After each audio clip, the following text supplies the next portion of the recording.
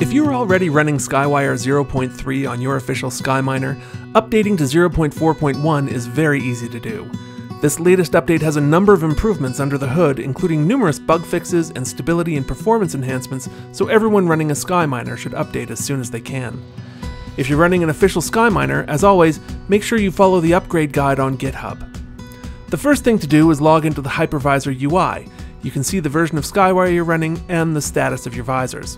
Open the menu at the top right and select Update All Visors.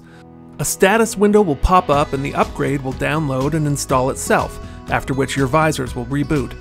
The process may take a few minutes. When the updates are finished, you can close that window. The 0.4.1 update merges the Skywire visor and hypervisor, so there's one part of this update that requires a terminal window, but future updates should only require the Upgrade All button we used on the other visors.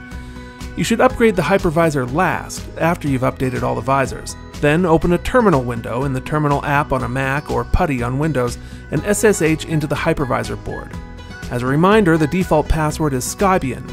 Once you're in, you can paste the curl command from the guide and hit enter. The hypervisor will begin to update. After the script has run, you can log into the hypervisor UI again. Note that you may be asked to set a new password when you first log in after the update.